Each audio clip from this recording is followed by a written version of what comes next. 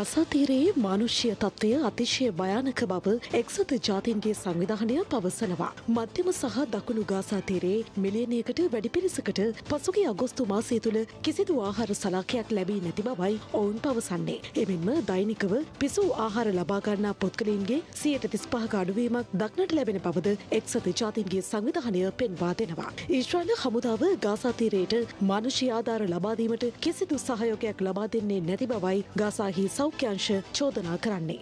රටේ ලෝකෙ සිදුවන උණුසුම් පුවත් දැනගන්න සියත නිවස් YouTube චැනල් එක අදම සබස්ක්‍රයිබ් කරන්න.